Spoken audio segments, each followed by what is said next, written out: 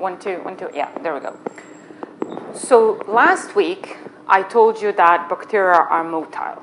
So before I do anything else, I will show you some of these different forms of motility. So just to remind you, motility is just a word used in biology predominantly now, in physics as well. This means self-propulsion, uh, and it's usually a directed motion towards chemicals. So it's a way or towards a chemical that bacterium either likes or dislikes, but it doesn't have to be just chemical. It can be towards temperatures, or it can also be towards oxygen. So there are dif different ways of doing this, and we have been looking, and I'll also be going to talking mostly about flagellated movement. So that's either with several flagella or with one flagellum.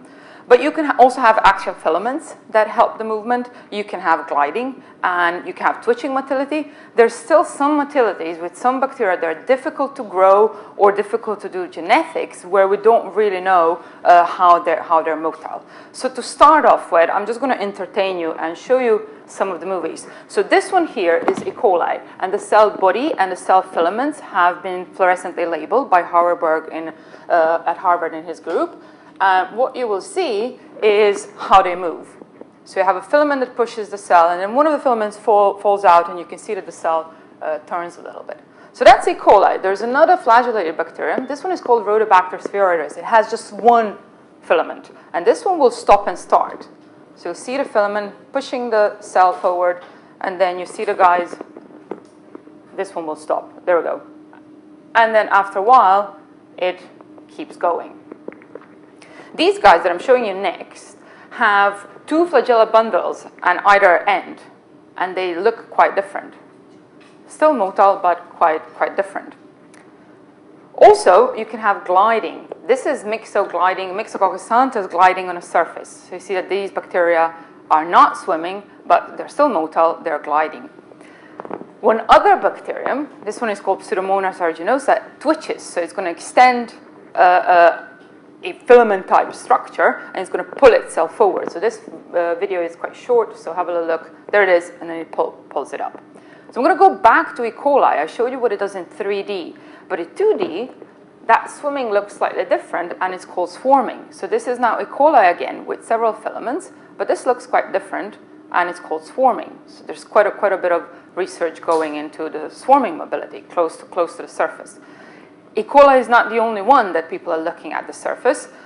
There is another one called Vibrio, uh, and this one here is again swarming close to the surface. And, and this here is one bacterium. So what it does somehow when it, when it senses that it's close to the surface, it stops dividing and forms this gigantic one long bacterium that forms a spiral. And you can actually study how it goes into the spiral and how it comes out of the spiral. So this is just to give you an idea of uh, different types of uh, motility. But I'm going to swing back to E. coli now. This is the one that we have been looking at the hands-on session. So this is an illustration of how the propulsion works. So you have a cell body. This is roughly one to three microns long. And then you have about six, and we say about six because if you look at different literature sources, you'll find three, you'll find eight, you'll find six, and each bacterium has a slightly different number. But let's go for six because it's nice and round, half a dozen of these filaments spaced around the cell body randomly, and they form a bundle at the back. So this bundle then rotates and propels the cell forward. This is what generates the, uh, the motion. At the end of each of these filaments, there is a motor structure called bacterial flagella motor. And this is a very impressive uh, motor structure. It's about 50 nanometers in size, and it spans the whole of the cell envelope. So in the case of E. coli, cell envelope consists of two lipid bilayers. So they're called outer membrane and inner membrane. And there's also a structure called cell wall. And this structure is a stress stiffening type of material. So it's a stiffer material, and the more the cell gets pressurized, the, the stiffer it gets. So the motor spans all across. It's 50 nanometers in size, and it does have a rotor and it does have a stator part of the motor. So the rotor part, it's right here, and this will rotate pushed by stator units. So stator units use something called proton motive force, although it's not actually a force. It's an electrochemical potential. So the cell is charged inside, outside. Inside is more negative. And then when the ions protons are passing through these stator units, they're giving energy to generate the movement to push, push the rotor.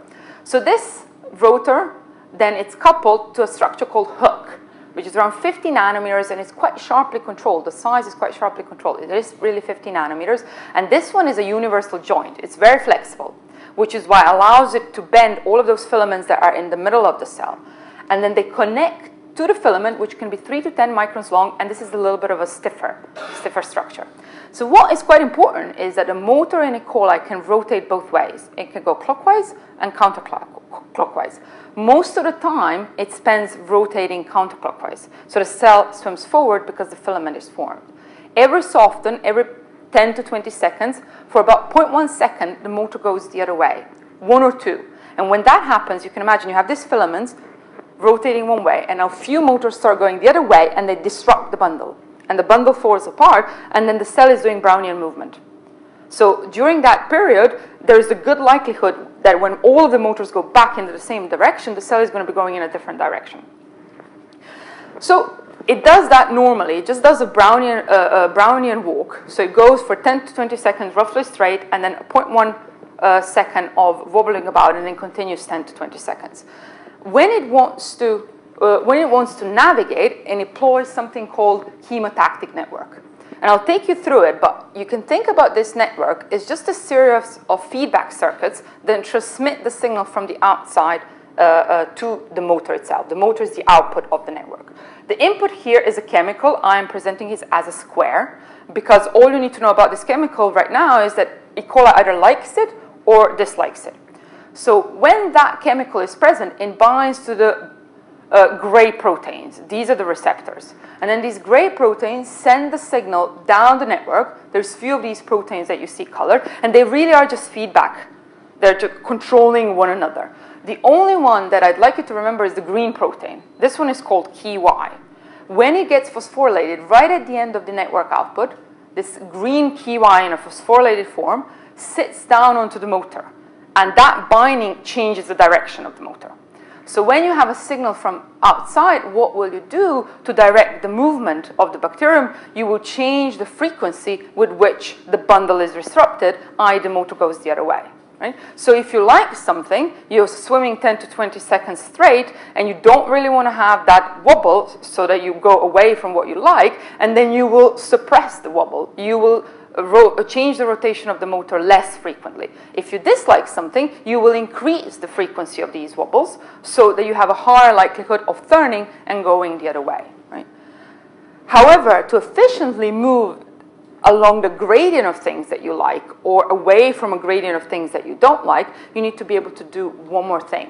And this is in chemotaxis called perfect adaptation. It just means that you reset the network uh, back to its original steady state. Where by steady state, I mean you swim for about 10 to 20 seconds, and then you occasionally wobble and you swim 10 to 20 seconds. When you encounter something and you don't, you like or dislike, you change the frequency of these wobbles, but very soon you need to go back. And this is illustrated in, this experiment. So on the y-axis, I'm showing you uh, the bias, the amount of time cell goes straight.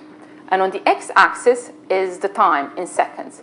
So around five seconds, you see that the cell encounters a pulse of something that it likes. What it does, it starts swimming straight for longer, so it suppresses these stumbles. But very quickly, within few seconds, about five seconds, it resets back to the same value. So now when it encounters something else, it can still sense it. So that's one important characteristic of the information processing of this uh, network. The other one is that it's very sensitive. So what I'm showing you here is the bias. This time the bias, how, what is the, these are previous experiments, so I have not chosen to switch the bias now. So on this axis is the probability of tumbling rather than, than swimming straight. So how many times does the motor switch? And here is the concentration of the green guy, CheY in a phosphorylated form, which is responsible for generating, this is the protein responsible for generating the switches of the motor. And what you can see that the response, the bias, changes very, very sharply. So Hill function there with a few micromolar concentration difference. So it responds really finely to micromolar concentrations. It's a very sensitive, uh, sensitive network. What I'll also tell you is that E. coli is pressurized. So there is about a bike tire of pressure inside the cell. And there's quite a bit of research of understanding what exactly does that pressure uh, uh, do? How does it how does the cell uses this, this force against its surface area uh, in order to grow and, and, and survive. So inside, again, just to remind you, it is separated from the outside by a semi-permeable membrane. In the case of E. coli, these are two lipid bilayers, one on the inside, the other one on the outside. And then in the middle is this cell wall, which is a, a stiffer material. Inside, there is a higher concentration compared to the outside, normally. And this generates osmotic pressure. So the cell is pressurized about a bike tire of pressure. When the concentration outside changes, say that, for example, it increases, what happens, and it needs to, before I go on, it needs to actively maintain that pressure, obviously, because it has a semi-permeable membrane. When the external concentration changes, say that, for example, it increases, first thing that happens is just physics. So what wants to happen is that the inside and outside equilibrate, and that is what happens. So the cell shrinks, and it can shrink up to 50%. And then the inside concentration and outside concentration are the same. The other way around, when the external concentration decreases, the water rushes in. And the purpose is the same, to equilibrate the inside and the outside, and then the cell expands and risks potentially bursting. So in both of these scenarios, you lost 50% of your volume, you shrunk, or you're about to burst, you expanded. E. coli doesn't appreciate it very much. So it does have mechanisms uh, to cope. So in the case of this shrinking, so now it's shrunk, and in order to recover pressure and recover volume, what it starts doing, it employs these pumps, and these pumps pump stuff in, and I'm really going to stay at stuff here. They are ions, there are some organic osmolytes, but it really matters that there are molecules that go in. As they go in, the water goes in because it's equilibrating. And at some point, it starts pushing against the cell wall. And at that point, the volume no longer expands by the same amount of the stuff that comes in, and you start repressurizing the cell. The other way around, now the cell has expanded because we decreased the external concentration and it's about to burst. What it has are these mechanosensitive channels. These are like iris-like structures that open up a hole for the solutes as well. So now the membrane is semi-permeable not just to water, but also to all the other solutes. And these solutes are going to come out, and then the water is going to come out, and the cell, cell volume recovers.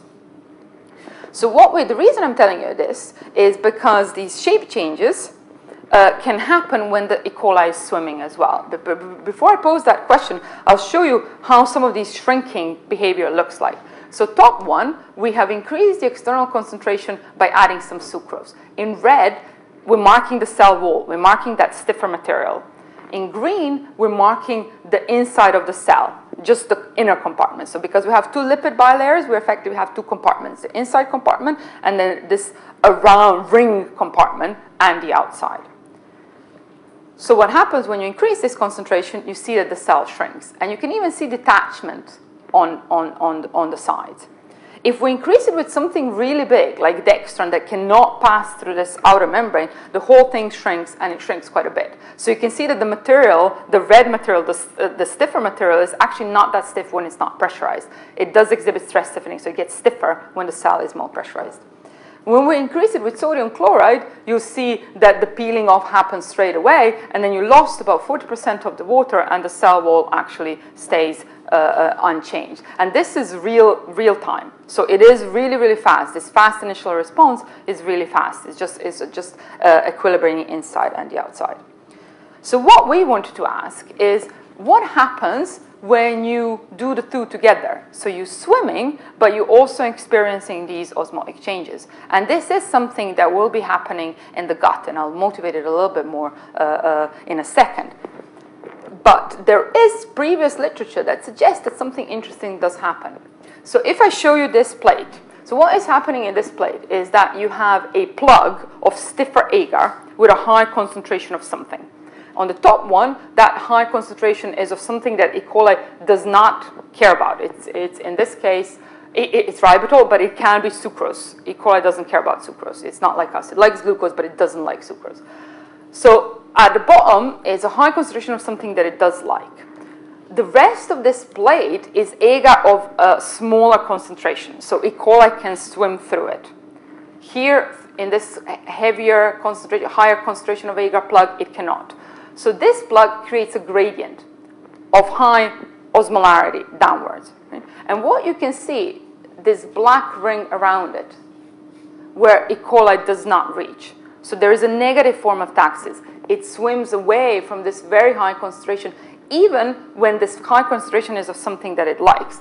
Because at smaller concentration of something that likes, you'll see accumulation of, of, of cells. So there is previous indi- indication that these high osmolarities, even for molecules that it does not care about in terms of uh, uh, uh, they're neither they're attractants, like not, neither food or not, not something toxic, it will still exhibit a form of taxis there's a little bit more evidence that this signal could travel, this high osmotic signal could travel down the network in this experiment. So what I'm showing you here is this receptor molecule, the molecule that normally sends these chemicals that E. coli either likes or dislikes. And what in this experiment has been done is that there was a fluorescently labeled fluorescent protein put in the place where normally the chemical that E. coli likes or dislikes would sit. Right? And then what you look at, you look at the amount of polarization and the difference between two polarizations. So you have parallel and perpendicular, the difference, and then you, then, then you normalize it. So when there is a lot of wobble, this number is going to be higher. When there is less wobble, it's going to be, it's going to be smaller. And what happens in the experiment is, if you look at the red one here, R on the y-axis is this number, is essentially the amount of wobble in this protein. And on x-axis, it is 9. So what you see that when you add that sodium chloride, sucrose, or dextran, those that I showed you, there is quite a bit of shrinking in the cell, there is less wobble. So the, the, when the membrane shrinks, it could mimic the binding of some kind of chemical. On top here, you have just a fluorescent protein that is present in the cytoplasm. It's not on the side of the cell, and there is no difference. There is no difference in the signal. I should also say that these guys here in Howard Berg's lab had looked at whether the signal could possibly travel down the network, and they found that there is indication that it could, but I'm not going to go into details uh, uh, of that just now because the experiment is slightly more complicated. Okay, so there is an indication that osmotic change, change in osmotic pressure of the cell, could go and travel down the network. But I also want to motivate to you why would this why would this be interesting? So normally the chemotactic network, the sensitive chemicals, things that a bacteria like or dislike, is done in a very very uh, limited environment. So there is not much else. There's just a buffered solution with micromolar concentration of things that bacteria like or dislike. But this is an indication of what might happen in your gut. So after a steak meal, what they have measured here is the osmolarity in your stomach and your small intestine. And what you can see that it goes to about 200, 300 uh, uh, osmol. This osmol is the amount of, like for example, something that is 150 millimolar concentration will be around 300 uh, osmol. So it's the measure of the, the, the amount of chemicals present. And the osmolarity can be increased even with things that E. coli does not like to eat or it's not afraid of. So this is, could be just very passive molecules, yet the osmolarity is higher. Same thing happens after a bit more sugary meal. So there, here's a donut, a milk uh, meal. And again, on y-axis is the osmolarity, and on x-axis is your intestine, essentially. So we're traveling from stomach uh, to small intestine, and here it's slightly different. You go from quite high osmolarity, and then you drop it still stays relatively high as you travel down the intestine. So these kind of shocks, these kind of changes in osmolarity, E. coli could encounter while it's swimming uh, through our uh, uh, gut and potentially trying to, trying to infect. Uh, so we wanted to know what happens when you have the two together. How does the network actually respond when it experiences a, an increase in the osmolarity? And here's how the experiment looks like. So what we do, we attach the cell onto the cover slip surface. So the cell is now uh, stationary. We cut the filament, and then onto the filament, we attach a plastic bead, a polystyrene bead, index of refraction around 1.45.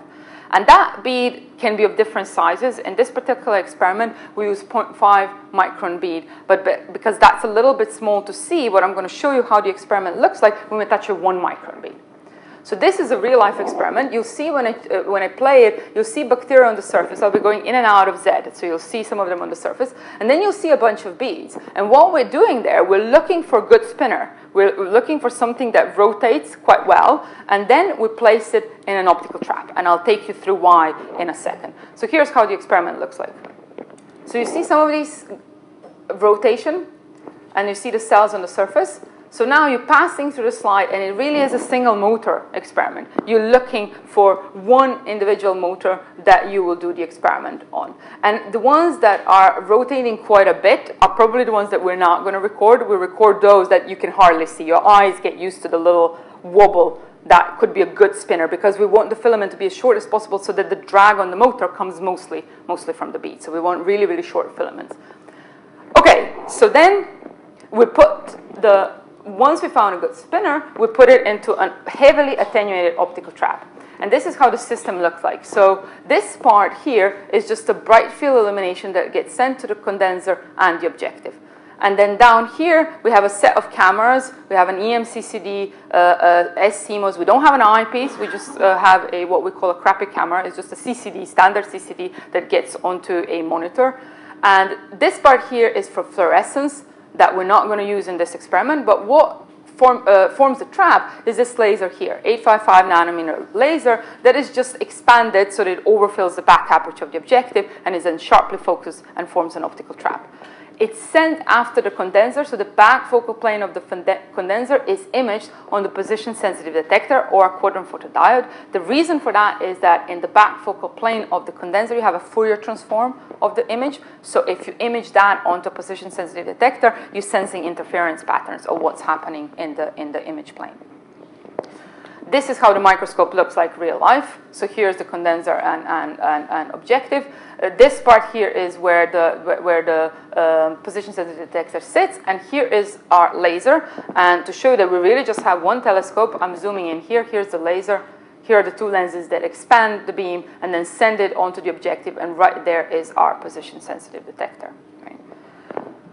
So the way you can think about it, so once we put our bead into this optical trap that is heavily attenuated, is not trapping, it's just really sensing the rotation of the bead, the experiment looks a little bit like this. So the signal that we're going to be detecting, here is our flagella motor, here's a very short filament, we're going to attach a bead. In this particular cartoon, the bead is a lot smaller than our, our bead is a lot bigger compared to the cell. The bubbles are ions, Artist impression of ions. Uh, so the, the bead rotates, and then you put that, you image this, the back focal plane, the Fourier transform of this rotation and the laser onto the quadrant diode, and you can think about it as sensing different amounts of light falling on the, uh, on the diode like so. Although that's not exactly correct. It is an interference pattern. It's not about shades. Uh, and then you get a signal. You get a, a, a, speed of the motor one way and speed of the motor uh, the other way. Right, so here's a signal that you display real life. You convert that into the speed, and you get speed one way, speed the other way. And now we're interesting to know how the motor is going to respond in terms of changing the frequency of rotation, which sets the direction of movement. We need the amount of time spent rotating one way over the amount of time spent uh, rotating the other way. And that's what we call bias. So it's the amount of time spent going the other way where the tumble occurs over the amount, the total amount of time. And the experiment itself, when Jirko does the experiment, this is what you see. So here's the speed of one individual motor, and here's time in minutes, and this is a representative trace. So you see that the speed before any kind of stimuli is around 80 hertz. And you see that occasionally the motor goes the other way. So about 10 seconds, swim roughly straight, and then occasionally for 0.1 second, go the other way. This blue line is where quite high, in this case, osmotic shock, a step function comes in what you can see is that the motor stops spinning and then increases the speed. And in this period, there is no changing of motor rotation. And then it ends up, there's this lots of switching happening. It ends up at a steady state. These are minutes. So it's for quite a long time where it just wobbles a lot more and it does not recover back to the initial level. This is also in this histogram. So this is now the histogram of bias, the amount of time spent this way over the total amount of time. And you can see that after the shock, which is here, the minutes are the same, you see a lot more switching events. And the map here, the color map, is just condensed histogram. It's just 1D histogram. Because what I want to show you, I want to show you quite a lot of uh, uh, these cells. I come back to this in a second. So these are now these 1D maps uh, of biases for a lot of cells. Each line is one cell. Here is a shock of 100 millimolar, then 200 millimolar, and 400. They're getting higher and higher. What you can see that before the shock, which is a um, yellow line, on x-axis is your time in minutes, that before the shock, the bias is relatively low, so it goes straight most of the time, then it switches a little bit. And then after the shock, you see a period increasing in length with the magnitude of the shock, where there is no switching of the direction. And then there is a steady state increase in the amount of time that the cell switches. So it does not go, it doesn't adapt, it does not go back. What I want to show you is also uh, this one here, where we comparing this response of the cell without, yes, that's a little bit what it does, thank you. uh, I'll call Mark afterward to demonstrate that. yeah, yeah. I'll, I'll, discuss what it might, what, so actually, in this period of time, it's 10 to 20 minutes uh, where the volume does recover. So we keep it in a buffer where we allow it to, to, to recover, recover the volume. So here's the cell that I showed you. This is the wild type cell. That just means it's, it's, we, we haven't genetically touched it. Uh, and this one here is we deleted that green guy, the one that sits on the motor, just that protein. So we call it delta CheY, without that protein. And when you see without that protein, here's the speed of the motor on y-axis and the time on x-axis in minutes again, is that you have the speed response pretty much the same. You're just lacking, you're just lacking these switching events. That does not necessarily mean that the network is involved in generating this behavior. It just means that the CheY protein binding is responsible for it. And I'll touch upon that in a second. Okay, so here are the speed changes. So I'm again plotting the same number of cells. This is one shock magnitude higher and higher. Uh, on the uh, y-axis is the speed in hertz. Here's the color, uh, uh, uh color uh, scale. And then on the x-axis, you have time again, same time periods, exact same cells. So you can see that after the relatively high shocks, there is a bit of an increase in the speed, but also for very high shocks, there's a drop in speed and then an increase, increase in the speed. Right, so we have two things that we have not normally seen in a chemotactic network. This is that the bias increases and it does not go back to the same value. So there is no perfect adaptation. It's a steady state increase in bias. And also the speed can change. So there are two type of questions that we can ask. Number one is how does this actually happen on a molecular level within the cell? So we left that aside for now. And the other question is can this generate taxis? Can, with this type of behavior, can we explain what we see? And that was, if you remember, that swimming away from a plug of high concentration. And here I'm presenting it here. So if this is a high osmolarity, there will be less and less cells as you, uh, as you go out. So to answer this question, whether this type of behavior can generate taxis, I'm splitting the, the, the the way the response is generated in two possible ways. So number one is that there is no information processing. So as soon as you step into the higher uh, osmolarity environment, your bias and your speed can change at that position. And that could happen even without any kind of sensing because, for example, at higher osmolarity, there is more stuff inside. So the pressure inside is actually higher, which could make binding to the motor and switching easier. It could just change the binding constants, and therefore, as you step, you actually straight away change the bias and change the motor speed. So then the question here is, can the change in the diffusion constant give you a tactic, negative tactic type of behavior? So to answer that question, we need to think about what is the diffusion constant on a microscopic level, right? So if you remember when you're going from a Brownian Walker into a continuous limit where your step size is getting smaller and the time period between your random steps is getting smaller as well, that you find a solution only if the ratio of the two is a constant. Then you have this macroscopic diffusion, diffusion constant. So to answer the question of whether or not a spatially dependent diffusion constant uh, will give you taxis, you need to think a little bit about these microscopic steps and, and, and time periods in between. So if your speed, it could change in, in space, but it does stay, the, the ratio of the two stays the same, then your equilibrium concentration will not change. But if you're either keeping the step constant or, you, or you're keeping the time constant or you're changing all of them, you will get negative taxis. Also, if you're changing all of them, you can no longer as easily find the diffusion constant. You need to be a little bit more careful here. You can write you can write the, the, diffusion equation, but the diffusion constant will not be as easily defined.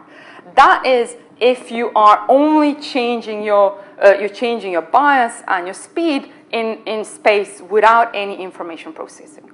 The other scenario that the network is involved and there is information processing. So now it goes, the signal travels down, down the network. There you need to be a little bit more careful. So now the, the most basic question is, can you get a negative type of taxis uh, in, in the scenario where your Brownian Walker now, it really depends on where it came from, right? Because it's going to be sensing a signal ac- across a certain time period. So I, uh, it, it, matters where I came from because I was sensing for a given period of time before I came to this spot. So it's, no, it's now becoming an anomalous diffusion. It's no longer a, a, a, a straightforward diffusion. So in that case, because of this dependency, on where you came from, you will get negative taxis if you exhibit no adaptation. What happens with the speed, with the speed changes on top of that, that, that, that's where it gets more, more complicated. So we're thinking that what we observe, this increase in a steady state bias, so no adaptation, and a change of speed in both of these scenarios can give negative taxis exactly how the swimming behavior will look like and how will they now behave where there's high osmolarity gradient or a chemical that they like or dislike at the same time as high osmolarity gradient, which is most likely the gut scenario, that's the next, the, uh, uh, the next thing to do. So I will leave with the conclusions. So unlike the chemotaxis, osmotaxis exhibit an elevated steady state bias. So there is no perfect adaptation. You never adapt, you stay at a higher bias. Uh, osmotic response can include a final change in motor speed, and that really depends on how sharp the gradient is as you uh, swimming through it. Uh, so a transient response to a very sharp gradient can involve more complicated things like a drop of speed and then in, uh, uh, recovery of the speed with no switching events.